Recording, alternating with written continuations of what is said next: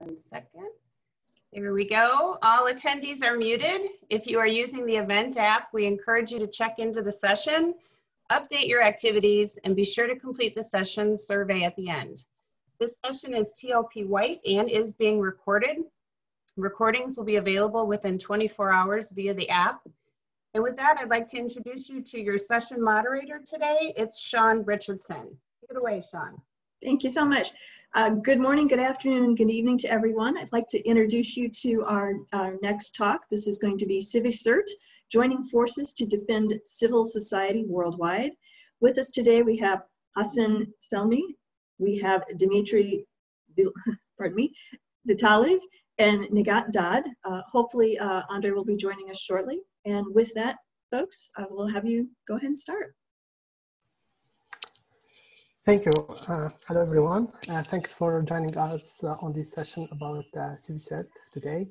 Uh, my name is Hassen Selmi, uh, and I work for uh, Access Now Digital Security Helpline.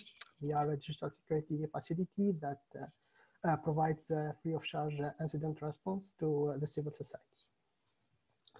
So uh, civil society members, such as uh, journal journalists and human rights defenders, are very targeted online. Uh, uh usually uh, under-resourced to invest in their uh, online defenses, they are always targeted by attacks most of the time due to their work.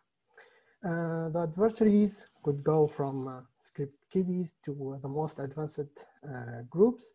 there is so there is a need to protect these uh, groups, uh, groups uh, which uh, Uh, pushed many organizations, uh, non-profits to create uh, and form teams uh, to provide uh, technical support and, and defenses for these at-risk users.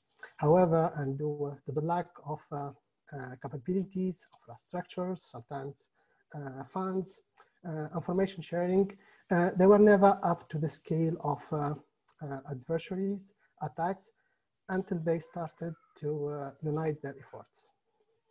Today, I'm here with uh, some colleagues to tell you about uh, CiviCert, which is one of these coalitions that was formed to defend the civil society. So what's? Uh, CiviCert is not a CERT nor a SOC. It's a, a, coalition of organizations that provide incident response and uh, cybersecurity uh, uh, support to the civil society members. Some of its members are part of uh, FIRST, namely my organization, Access Now.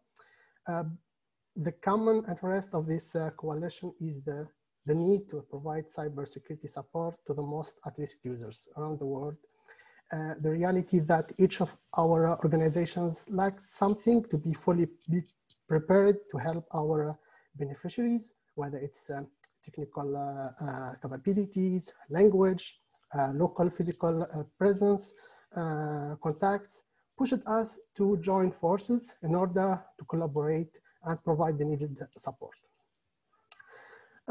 how uh, CiviCert got born.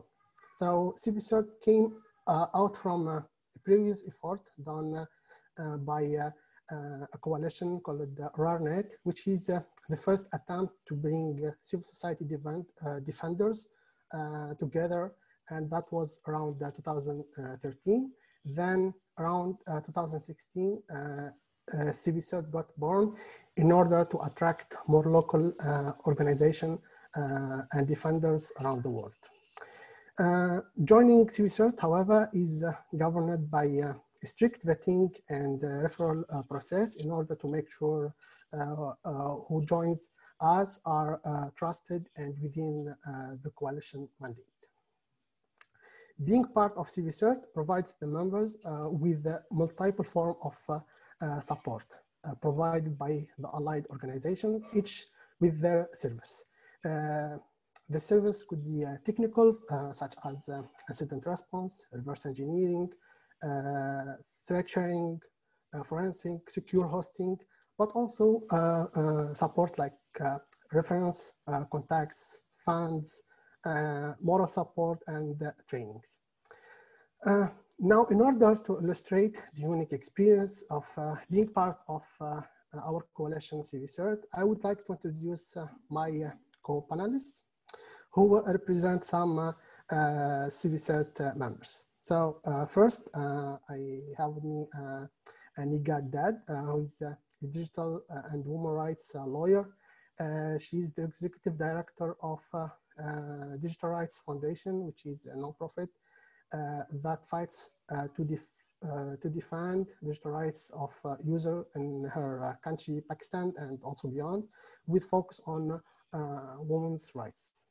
also, we have with us Dmitri Vitaliev, who is the founder and director of eQualitie, known for uh, tools like uh, the DDoS protection uh, Deflect. eQualitie is a developer of open systems with focus on privacy, resilience, and self uh, determination. Uh, we were expecting also uh, Andrei Petrovsky, who is the director of tech at Share Foundation. also Share is a non-profit that is part of a CiviCert, but unfortunately he hasn't joined us yet. So I will start with one of the oldest members uh, at uh, CiviCert, uh, eQualitie. Uh, so Dimitri, eQualitie was one of the first organizations that started uh, CiviCert. Do you remember a case where uh, a collaboration between the CiviCert members led to great results? Thank you, Hassen. Yes, and uh, good morning, everybody. I'm talking to you today from uh, Montreal, where the winter is coming. I would actually like to talk about uh, two cases uh, where this collaboration has led to some fruitful results. Um, if you permit, I'm going to share a few slides with you and try to go through them uh, relatively quickly.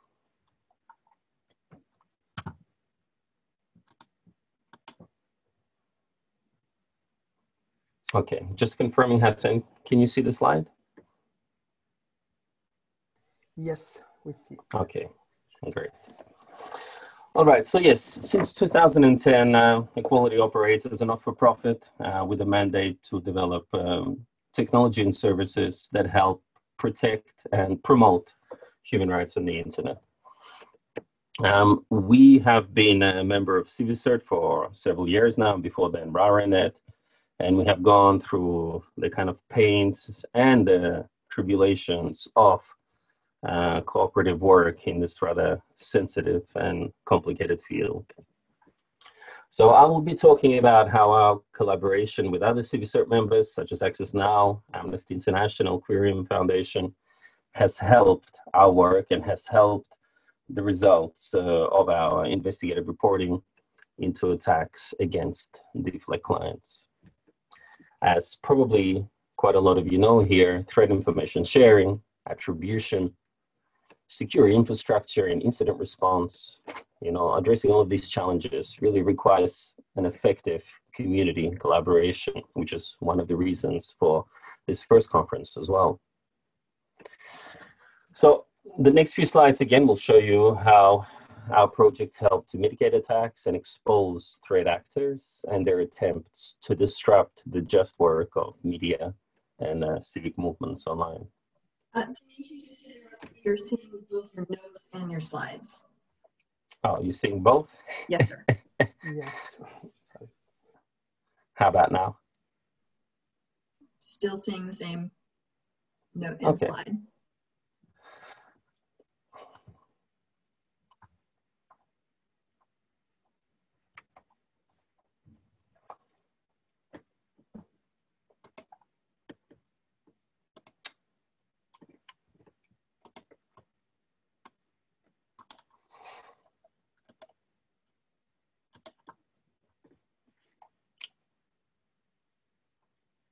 And now?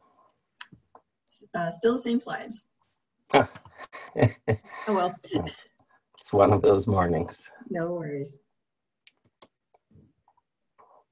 If you want to, real quick, try unsharing and then resharing. Yeah, maybe I'll do that. Just one second.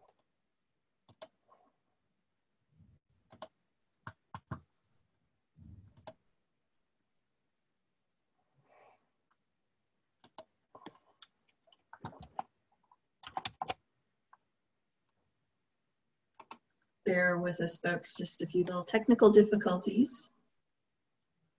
The joys that we're all getting used to with, uh, with virtual conferences.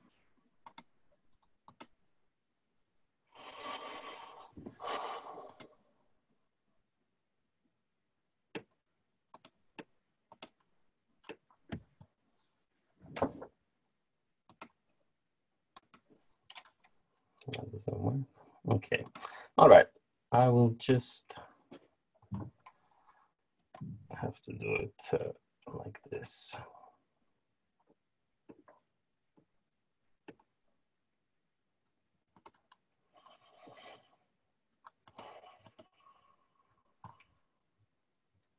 Desktop.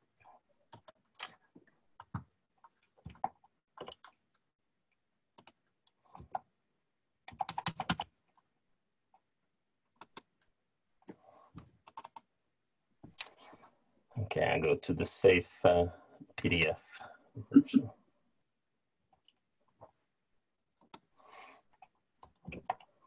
Okay, and share.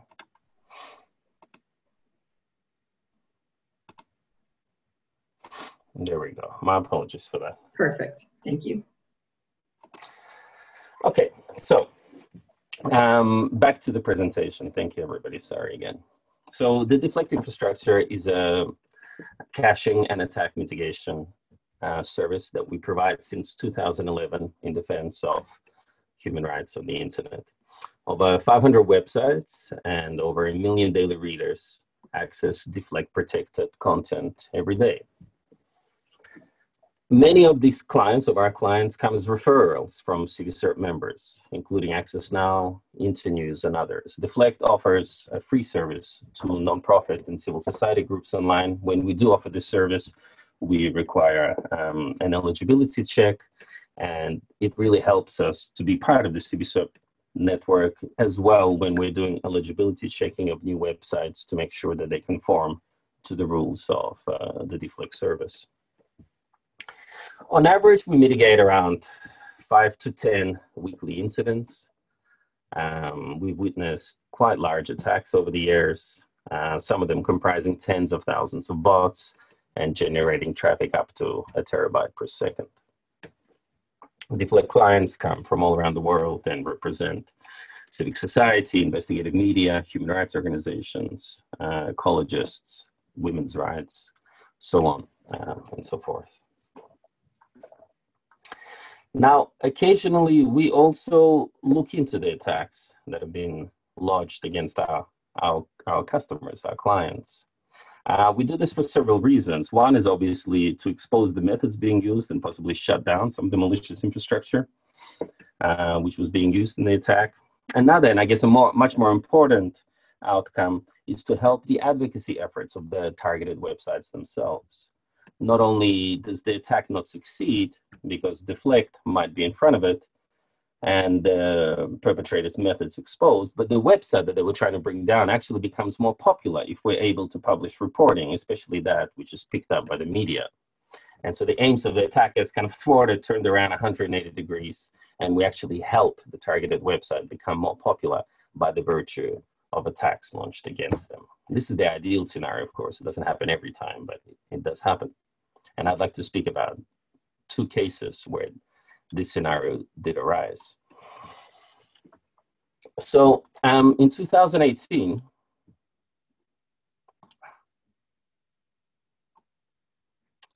okay, sorry, in 2018, uh, we were looking into a DDoS attack against a prominent uh, independent media covering Central Asian current affairs. Uh, we had noticed that attackers were deploying professional vulnerability scanning tools. Looking at the traces left by these tools uh, and into the history of uh, our logs, we traced the same techniques to attacks against other Deflect clients also from the same region.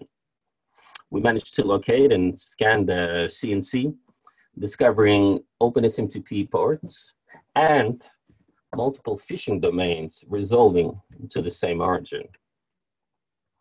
Now, this led to two different investigations, one that Deflect pursued by itself, and one that was later picked up uh, by the Amnesty Tech team.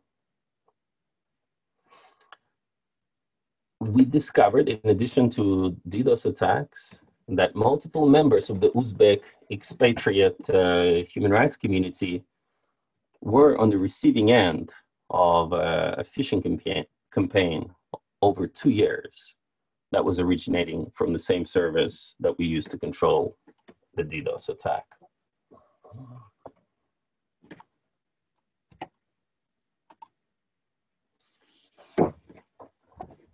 The second thread of this investigation, the phishing campaign, was picked up, as I mentioned, by members of the Amnesty technology team, also a CiviCert member.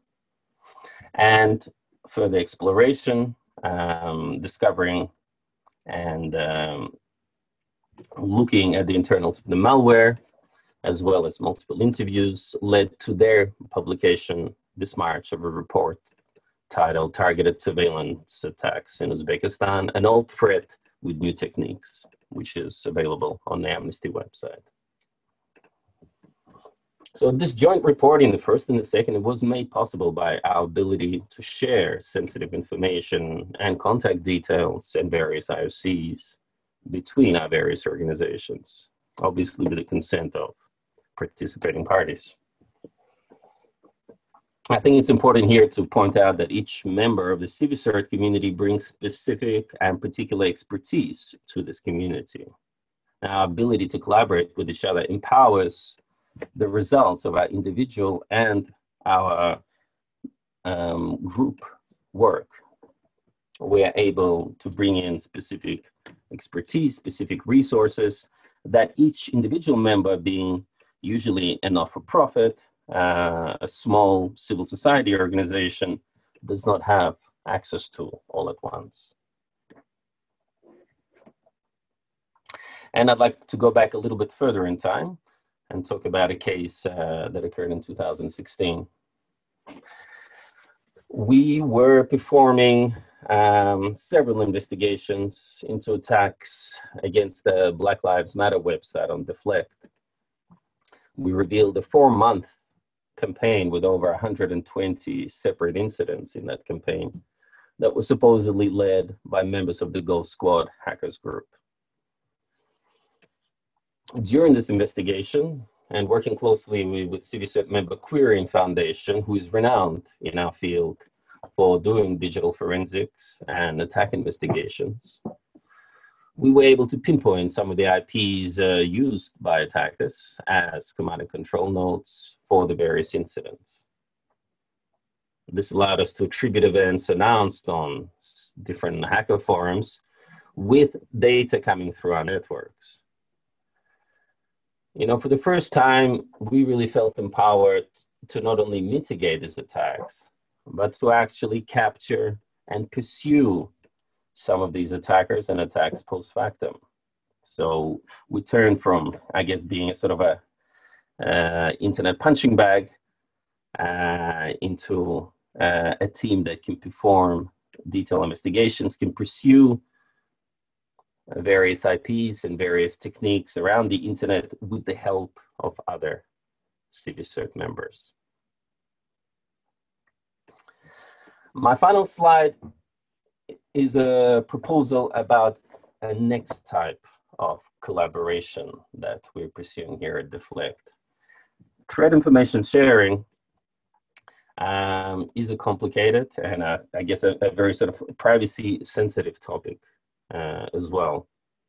A deep level of trust and robust policies, as Hassen mentioned, are required for the exchange of what is often personal data in the indicators of compromise and also in a manner that could help prevent incidents elsewhere in the network. At Deflect, we're building a clearinghouse that will enable the exchange of IP behavior at the network edge as vector features. In return, the clearinghouse will reply with an anomaly prediction scoring as generated by Baskerville, which is a Deflect built machine learning platform for layer 7 attack mitigation. So we're proposing that the clearinghouse will allow the exchange of um, um, allow the exchange of uh, non-IOC data for the purposes of being able to receive a prediction and generate an appropriate mitigation response on your own networks. You can read more about all of this on the Deflect website and on the eQualitie website as well. Thank you, Hassen. Thank you, everybody. Sorry for the uh, slide sharing troubles. Yeah, thanks, uh, Dimitri. And that was uh, a very good uh, illustrative examples on how uh, collaboration between uh, the CiviCert coalitions led to really good um, results. Now with Nighat, through the Digital Rights Foundation helpline, you are uh, Nighat helping uh, women, minorities, and dissidents who are facing many kinds of threats. Could you give us uh, a further example of uh, collaboration that exists between uh, uh, the coalition members? Thank you, Hassen. Uh, I'll be very quick since we have Andrej with us and we are running out of time. Um, so we uh, at Digital Rights Foundation in Pakistan, we started a cyber harassment helpline in 2016. And the idea was to uh, not only um, provide digital security support, but also uh, especially young women and girls, uh, feminists, uh, minorities groups who are very hesitant to reach out to the law enforcement or other actors uh, due to the fear of uh, being prosecuted. Um, they they started reaching out to us through the helpline and um, um, not just for the digital security support but also getting advice on legal help but also you know like investigations around what is happening to their devices or if their devices are acting up and so uh, in um, two years ago, uh, we got a complaint from um, a woman human rights defender who uh, uh, basically a peace activist who was campaigning around uh, enforced disappearances in Pakistan. And uh, she, um, uh, she, she and uh, so the uh, older human rights activists in Pakistan actually really have no idea uh, when they use social media uh, accounts or platforms for their activism about the digital security. But her phone started acting up and she reached out to us and we as a small organization really couldn't, you know, like find that what, what exactly is happening and referred the case uh, to one of the organization and due to the security reasons i cannot name the organization but um, uh, we referred the case to the CiviCert member and they, initially they started looking into her devices but later that uh, uh, investigation led to a larger investigation in a very detailed manner and resulted in a research study and found out that not just one activist is facing this kind of uh, targeted malware attack, but a very sophisticated targeted malware attack is happening against several uh, human rights defenders and women human rights defenders in Pakistan so uh, that investigation led to you know uh, awareness raising among human rights groups not just working on digital rights but also traditional human rights groups and older ones. Uh, and the way and the second case is a very generic case where you know they're like uh, sophisticated complaints that we uh, receive uh, and um, we as also local organization do not have that advanced tech knowledge due to the lack of resources uh, we refer those cases to the Access Now helpline. And it's a very uh, mutual uh, sort of relationship because we as a digital rights foundation uh, feminist-led organization always have a gender aspect towards digital security or digital rights um, and um, um, so access now also reaches out to us in terms of what are the things that they can do as a helpline uh, in terms of you know uh, addressing the issues of women human rights defenders or feminist uh, uh, feminist-led organizations or ju just feminists. So this is that's how i feel that you know the referral mechanism within CiviCert has been helping smaller organizations uh, in terms of um, uh, conducting uh, um, investigations and researches and helping human rights defenders on the ground at the same time increasing our all, our knowledge as well which we usually cannot really get due to the lack of resources and lack of funding as well. So i'll end here and hand it over to Hassen. Thanks Nighat we are uh, a little bit late uh, in our schedule but uh, andre from uh, ShareCert uh, joined us. Uh, Andre, if you hear us very quickly, uh, could you tell us what's the motive of uh, uh ShareCert, which is a, a new member of CiviCert, that pushed you to join this coalition? Yeah, uh, thank you, thank you, Hassen, for the introduction, and uh, sorry for being a bit late. Uh, as as a small organization coming from the Balkans, uh, to be more precise, from Serbia, we've been facing uh, various types of challenges uh, in in our local context. bearing in mind that Serbia is a country that's still not a member of the European Union, we still have struggles with rule of law and freedom of the media. Our CERT is mostly oriented towards helping uh, NGOs, civil society organizations, activists, and media when it comes to cyber incidents. In that regard, international cooperation for us is of vital importance due to the fact that uh, we are the only organization in the wider region that deals with these issues. Uh, having said that, uh, becoming a part of uh, CiviCert has helped us uh, gain experience and knowledge of things that happen on a more global level since our focus is quite regional. Um, and has really contributed greatly to the work that we we do on daily basis not only when it comes to the technical aspects because uh, in that regard we do have uh, some sort of capacity to uh, basically respond to the incidents that we've been facing but more uh, on the on the global trends. Uh, also it is very important to stress out that the entire system of digital security in Serbia is still basically in the making because there is some legal framework, but it has not been established to, to its full extent, meaning that we do take active part in advocacy and um, basically policy, policy, policy shaping for which international standards and experience is of um, vital, vital in, in importance to, to, to us.